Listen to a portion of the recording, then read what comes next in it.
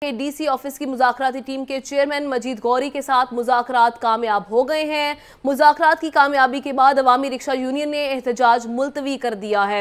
مزید جانتے ہیں اپنے نمائندے فاروق حمزہ سے۔ جی فاروق حمزہ۔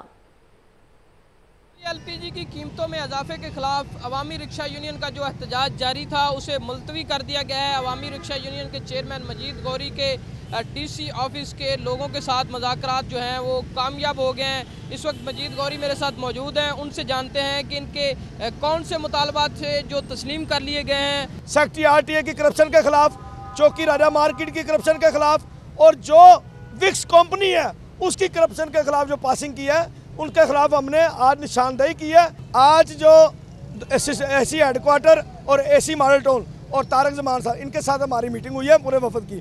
اور انشاءاللہ تعالی یقین دہانی ہے، ہمیں اس یقین دہانی پہ نہیں کوئی مسئلہ۔